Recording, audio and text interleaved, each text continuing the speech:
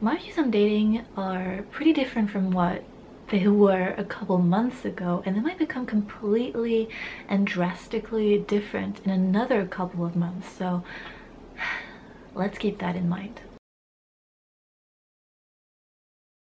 Hello everybody, how are you all doing today? Finally, I'm ready to make this video about my dating experience here in Japan as a foreign women in uh, their 30s and more specifically uh, my experience with dating in Tokyo because that's where I live. Now, as a lot of you may already know from following me on social media and watching my Vlogmas videos, I was in a relationship up until recently. So I learned a few things through that experience and obviously prior to that relationship and after that relationship, I have been on a few dates as well since living in Japan. Now, I am no expert in dating at all. In fact, I, I would actually go as far uh, as to say that I don't really enjoy the dating process.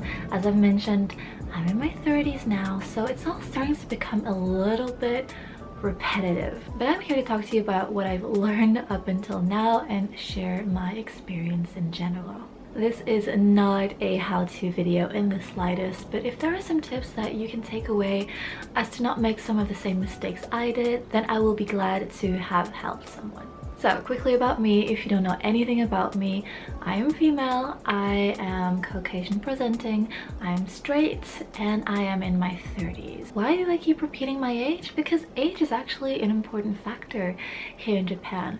Not as bad as it used to be, mind you, but if you are a woman unmarried over the age of 27 and sometimes over the age of 25, you are considered spoiled goods. I've never been called a Christmas cake to my face by anyone here. Actually, the only times that I have been called a Christmas cake are by white guys on the internet and from talking to actual Japanese people about this concept they find it outdated and ridiculous but having said that and regardless of what I've heard from the people around me it is a factor and there is a sense of urgency to get married before the grand age of 30 Anyway, I personally haven't felt discriminated against uh, because of my age, but I've definitely felt a little more, how can I say, marriage focused uh, when it comes to dating, especially because of how Japanese dating apps are set up. But I will get back to that one. First, I wanted to talk about how it's like to date as a foreigner in Japan, aka dating men from a completely different cultural background than mine that was the thing that I was the most concerned about when I started dipping my toe into the dating pool here in Japan. Are we going to be able to understand each other on different levels? Am I going to come off as rude or offensive, too direct, coming on too strong as a Westerner? How do we adapt to each other? I'm living in Japan, so do I have to adapt more to Japanese standards or because he is going to be dating a foreign person, does he have to change his expectations? Like where, where do we meet? And of course the fact that I have social anxiety anxiety doesn't help. So prior to moving here, I did hang out with a few Japanese guys, some that I met over some travels and some just living in Belgium. So it's not like I was going completely blind. I knew some of the things I was supposed to look out for and I really wanted to do things right uh, from the start, whatever that meant. But mostly I didn't want to attract any of the infamous gaijin hunters. So Japanese people who only want to date you because you're a foreigner or only want to hook up with you because they think going for a drink with a foreigner will easily lead to sex. So if you're looking for a fling or something casual, you're gonna have an awesome time because even though hookup culture here in Japan is kind of hush hush or unspoken, it is very much present, same as in any other country. So if you're looking to hook up, you will definitely find people who are more than willing to accommodate you. Those kind of people you can easily find on Tinder or they will not hesitate to call out to you on the street. I've usually only seen men do that, like the nampa, the calling, the cat calling on the street, uh, but I'm sure it goes both ways. But if you're looking to date seriously, here are some things to look out for. Again, these are just from personal experience. You should trust your gut, go with your instincts, but please keep these in mind. First of all, and this one seems pretty obvious, if they want to hang out at their place on the first date or on the first few dates, it's probably because they're looking to hook up. Secondly, if they want to meet very fast and very spontaneously after matching on a dating app or meeting in the street, it's usually kind of a booty call situation. Again, that's from my own experience. Maybe they're just very enthusiastic and want to meet, but I would keep this in the back of your mind. So this one is pretty 50-50. Evening dates. Now, keep in mind a lot of Japanese workers work long hours late until the night and sometimes an evening date is the only available option. But I would personally try to ask about having like a lunch date on a weekend, see if they're actually open to that possibility. It isn't always possible and in my case I've had some very civil, polite, gentlemanly uh, evening dates and I've had some evening dates where the guy just clearly wants to get me drunk and in his bed. So pretty 50-50 but another thing to keep in mind. Now here is the biggest tell in my opinion. I use it to this day and it has not failed me a single time. So for me, a 100% success rate. Sorry about the noise in the hallway.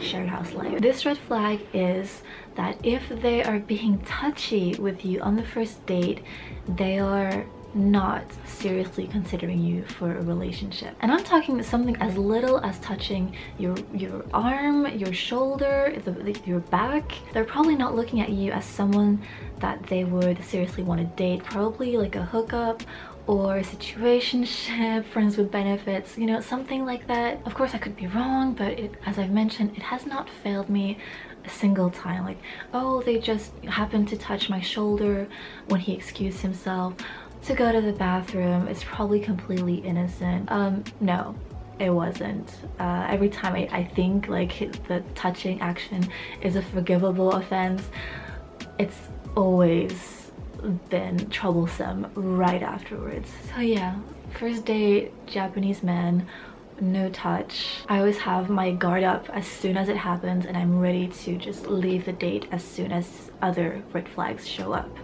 So yeah, you know I keep repeating again from personal experience, but keep that in mind. But yeah, trust your gut. Go with your instincts. If you feel like it's completely innocent, maybe it is. I would be on high alert if your date is being touchy with you um, on the first time that you guys are meeting, going out, going for drinks together. Now, let's talk about dating apps in Japan. I've only actually been on a few dates with people that I've met like on the street and usually those never end up really well and since these days I'm just so busy I rely on apps when it comes to meeting new people. So I was already using Bumble prior to moving to Japan and when I moved here I just continued using it because I was already in the habit of doing this swipey thing weekly and just talking to people. I think most people watching know what Bumble is. It's not a Japanese dating app. It's a step above Tinder, you swipe left, you swipe right. If you have a match, the woman has to message first. And when I moved here, the borders were closed to tourists, so most of the guys on that app were Japanese. But now since the borders are open, I feel like it's 80% tourists looking to have fun while they're here, so I'm not really using Bumble anymore these days. Uh, but that is where I met my now ex-boyfriend um, so I can't disregard the app completely because it did work once for me. But these days I'm using a Japanese dating app called Pairs. I think it's one of the more popular ones in Japan, like one of the more serious ones. Uh, there are like so many, uh, some more like targeted towards young people, towards like college students etc but i only know about Pairs so far when it comes to japanese dating apps so that i'm just gonna stick to what i know and talk about Pairs man japanese dating apps are something else completely different to the dating apps we have in the in the west remember how i said that i had become a little more marriage driven since coming to Japan. That is because of dating apps like these. It seems that there have been catered for people who are looking for something serious which is good because it does weed out some of the more casual people not all of them mind you but another thing that does help with the weeding is that uh, dating apps in Japan such as Pairs work on a subscription system uh, for men. Men are allowed to register, create a profile, I think maybe look at other people's profiles, but they have to pay a monthly fee, I think, to start messaging and liking other people. I think that's how it works. Pay to start messaging, pretty much. Which does help with this false sense of security, thinking like, oh, this guy is paying to find a partner, so they must be serious, right? They must be actively looking and staying open-minded. Mm, yes and no, I still think that there will be all different kinds of people on an app regardless whether you pay for it or not so I would not completely let my guard down just yet. Now what makes Japanese dating apps so different from what we have in the West is the amount of bloody detail that you, you can input on your profile and that you're expected to add to your profile. I mean, no joke, it took me at least an hour to set up my own profile. And yes, the fact that the app is completely in, in Japanese doesn't help. But seriously, here are some things that you might find on a Japanese dating profile. Again, I only have access to men's dating profiles. Uh, so you will find usually a nickname. I've rarely seen anyone use their actual name on their dating profiles. You'll have their age, which sibling they are, like firstborn son, middleborn, uh, etc. The blood type, spoken languages, where you're currently living and where you're from, graduation level, occupation, salary. Yeah, that one really surprised me at first. You can choose like the bracket in which your salary uh year i think it's yearly yearly sal salary falls into. And at first i didn't understand how it could be so important especially for men to have the salary up. It does seem a little like outdated. But after being on the app for a little while when i see a guy's profile where he hasn't put the salary info it does make you wonder like huh what is he hiding? Does is he embarrassed of his salary? Does he have a bad relationship with money? Is he extremely rich and doesn't want to attract the wrong kind of people?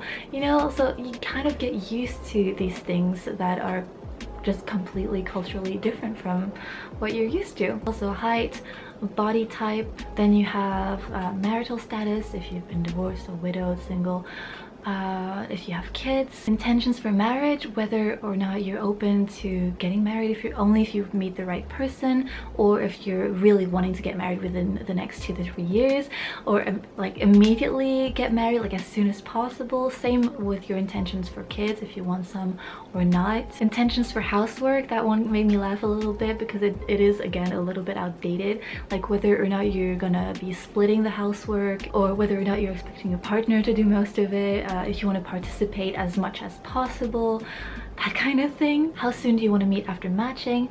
Not sure i really get that one like immediately meet meet after talking kind of thing. Intention for paying a date it does seem a little odd.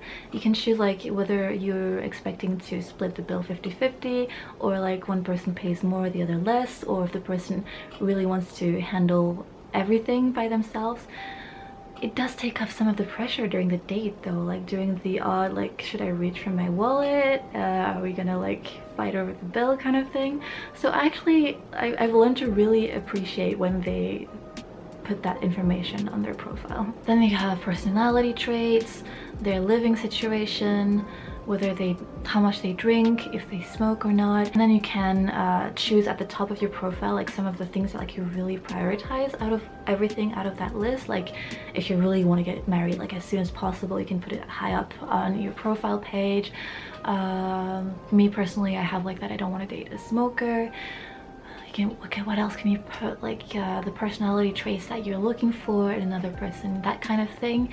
And then there's this whole page where you can like scroll through and tick things that you like such like you know kinds of foods anime uh, traveling. Probably anything that you can think of there will be like a community page for it that you can just join and that way the other person can see the kinds of things that you enjoy doing. And then there's like it helps with the compatibility percentage which I don't really get because sometimes you meet someone and you have like this particular percentage compatibility percentage but then it just it just keeps changing and fluctuate fluctuating with that person. So I mean, I don't really, I don't really trust that, but hey, at least you know if you have things in common with that person. So pretty detailed, right? And actually, the only thing that isn't detailed uh, on that dating profile are the photos. I mean, you can, you can input things on your profile such as your, your salary and your intentions for housework, but you don't give out your name and you use blurry photos, which I found pretty interesting like the the definition of privacy is very is very different here. Don't be surprised if all you get is a photo of that person wearing a mask a blurry photo a photo where they've put a sticker over half of their face or like photos of their pets foods like places they've traveled Whereas in the West, you get like selfies, like different angles, different lighting, different situations, like different parts like of, of your body. And yeah, all, all you get here is uh, most of the time a blurry photo and uh, luckily, luckily, dating apps like Pairs have like ID verification. So the chances of being completely catfished are very low, but there is a chance that that person will have uploaded a photo of themselves blurry photo of themselves when they're really young. So you can show up to the date and be like okay where's the guy? Is that him? Is that him? That's not him. Oh my god that's him. And he's like probably five or more years older than when the photo had been taken.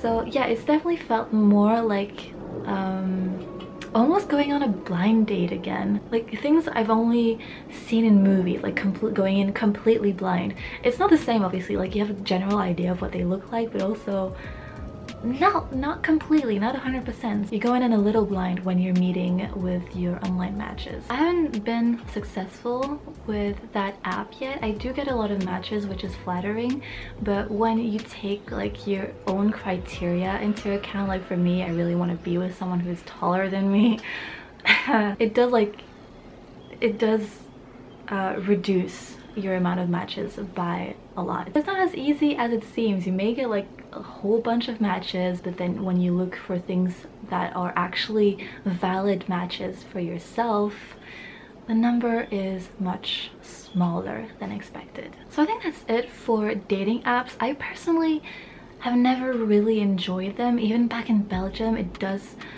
feel a little forced, but like because it it did work that one time for me. I'm a little more optimistic about them but if i'm being completely completely honest i would much prefer meeting someone naturally. I don't know if that's even a possibility in this day and age anymore. And everyone is so busy including myself but yeah we'll we'll see what happens. We'll see if it works. If it doesn't work uh, i enjoy my own company so it's all fun now to my actual dating and relationship experience. I won't get into detail about my relationship from last year. It's very personal and private, obviously, for both of us.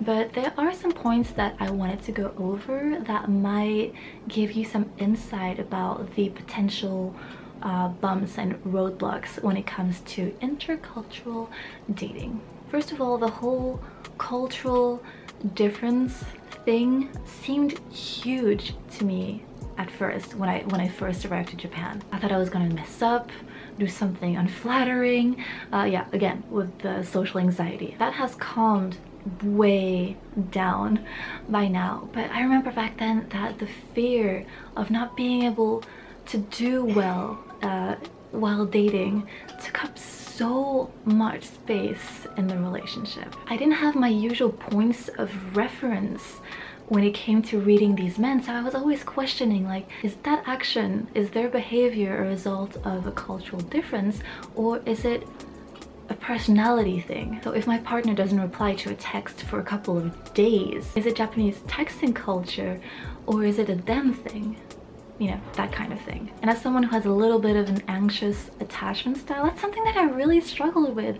And I ended up forgiving things that I would normally never forgive just because of the odd chance that it might be a cultural difference that I need to learn to accept when in fact that particular behavior action was them being a complete this kind of thing I think is something that I personally am going to be struggling with uh, probably for another couple of years until I've interacted with a whole wide range of different Japanese people and learned to understand and navigate like the dating and um, interaction etiquette. I'm curious whether that's something that's like particular to me or if that's something that other foreigners have experienced when getting into a relationship with a Japanese person or someone from a completely different cultural background. One of the barriers these days that I'm experiencing is obviously the language barrier.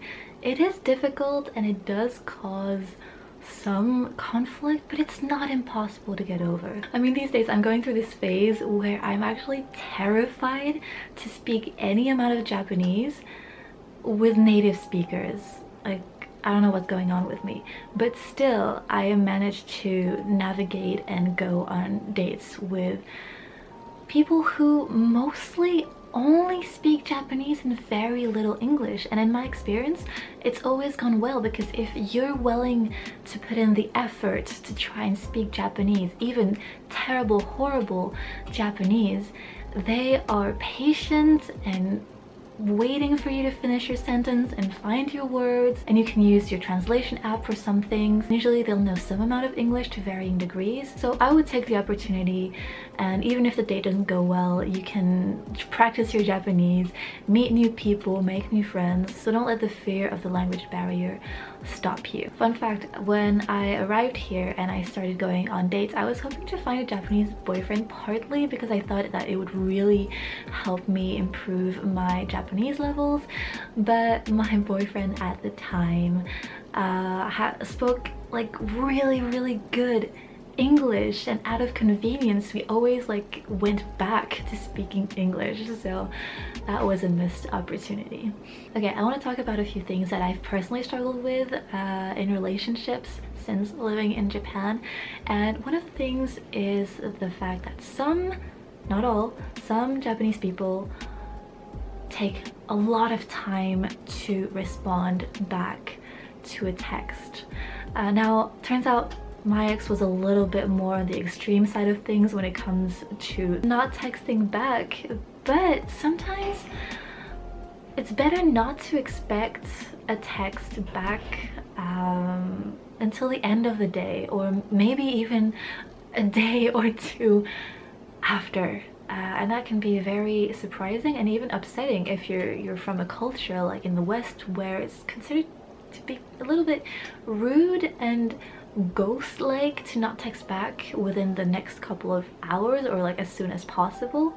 So in order to navigate that I would try and communicate your texting habits and expectations to your potential new partner. Not like force your expectations onto that person but be like hey I'm used to um, getting a text back within the next three hours. And they can be like oh I understand but at my job, I am not allowed to use my phone at all, but I'll make sure to send you a text when I wake up and a text when I get home from work and then we can talk and then we can jump on a call. You know, like communication. It's, it's always about communication in the end.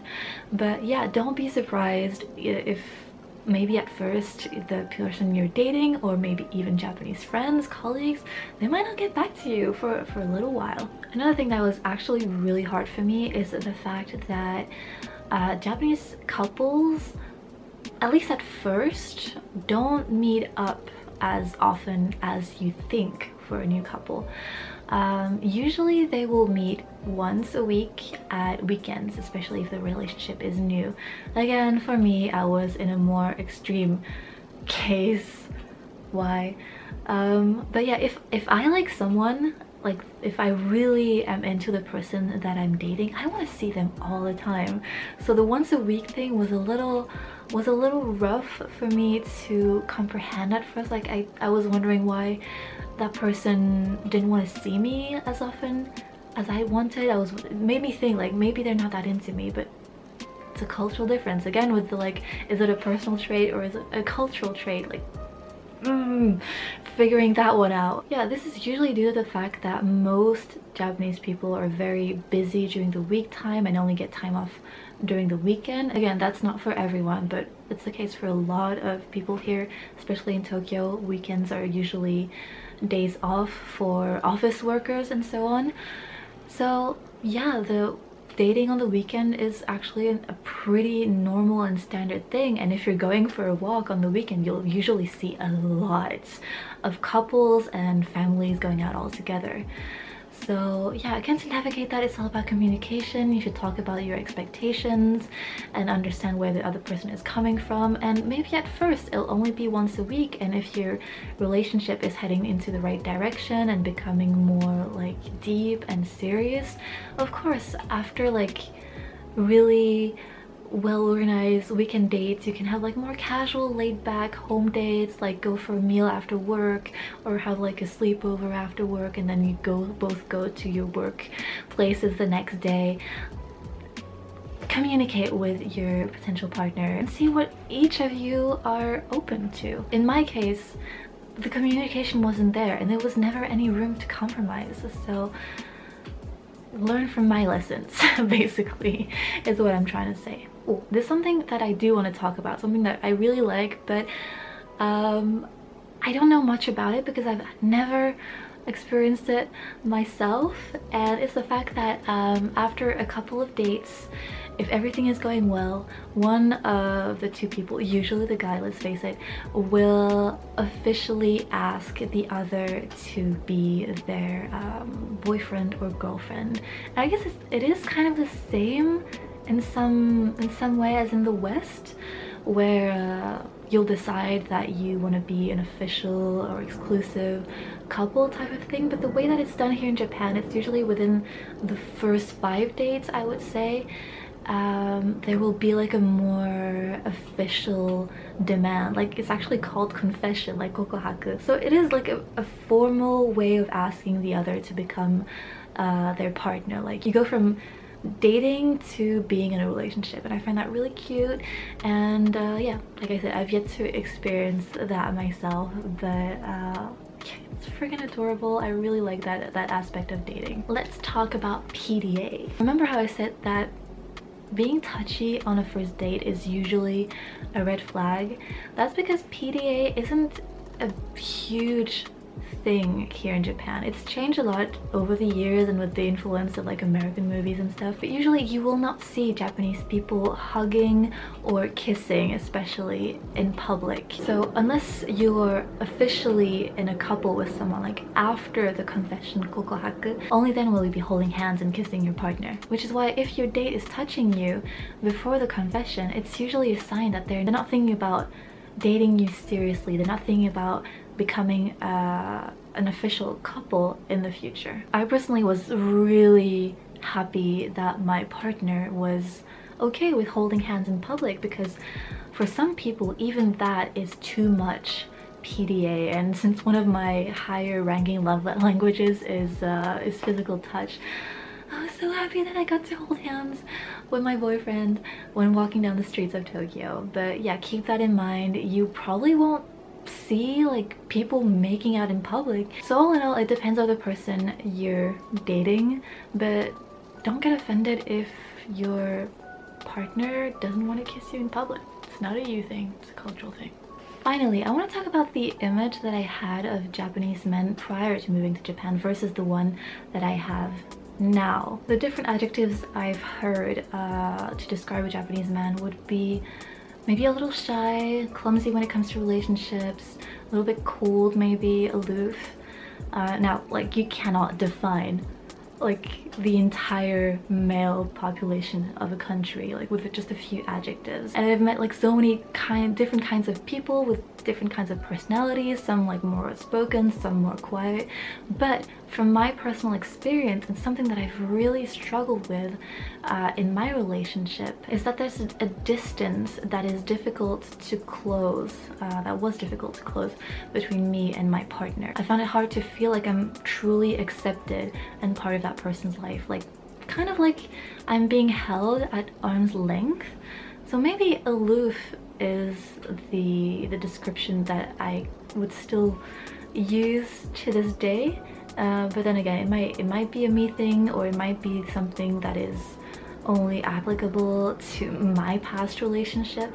But yeah I definitely feel like there are la layers to a person and there's like this inner inner layer this inner circle that I've never been able to access uh, if that makes sense. I don't want to be the one who's trying to define a whole culture that doesn't belong to me and be like this is how A works and this is how C works. But there is a thing in Japan like the face that you show to the people who are part of your outer circle and the face that you show to people who are part of your inner circle. And I still wonder to this day like have I ever made it into a person's inner circle? Again might just be a me thing might be just an impression that I had from this one experience from the relationship I had last year that doesn't at all mean that I think that Japanese people lack uh, warmth and friendliness like not in the slightest quite the opposite actually. But there is still like to me the sense that there's this, this inner layer that is difficult to access. Again i would be more than happy to hear other people's experience on the matter. So i can compare it to mine so regardless of the good experiences and the bad experiences when it comes to dating japanese men in the end it, it, is just the same as with any other country you'll you'll get some weird people you get some gentlemen you get some people who are looking for a serious relationship and you'll have people who are just looking for a fling. In the end it's all about compatibility and communication finding a right match navigating roadblocks and uh, obviously uh, cultural differences versus personality traits type of thing. No clue who I'll end up with or if I'll even end up with anybody but it has been an interesting uh, experience to say the least. So if you're in Japan planning to come to Japan long-term short-term and you want to get dating a try I mean I can only encourage it. It's an experience. You might meet some like some really nice people along the way. You might learn some things about the culture that you cannot learn about in in textbooks and guidebooks discover new places. You might make uh, lifelong connections even on a friendly level. So I would say go for it. Just maybe keep some of the things that I mentioned previously in mind just to make the navigating of the waters a little more pleasant and easy. Thank you for watching. I hope that you learned a thing or two. I would be very interested to know about your own experiences when it comes to dating and relationships in Japan or dating and relationships interculturally uh, in general. Just leave it all in the comments. Just please because this could be a sensitive issue.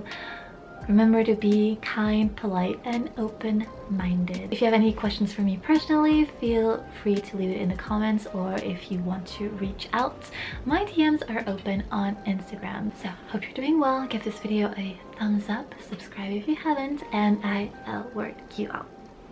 See you soon, bye!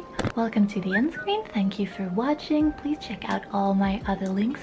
There is a new link in there. I thought I should mention it. I have started a free OnlyFans account because I enjoy modeling and I enjoy doing some modeling that sometimes doesn't really have a place on Instagram that is more for a particular kind of public. So if you are that particular kind of public, just I'll see you there, right? Thank you as always to my patrons. You guys, you guys are my rocks. You're keeping me afloat. You're giving me motivation to keep going and fighting and try and accomplish my dreams of being an artist. And oh my god, keep living in Japan. Why is it so hard? Ah, but I'm so thankful for you guys and uh, I can't I can't express my gratitude. So to everyone still watching to this point, I'll word you all even more. Have a wonderful, wonderful day.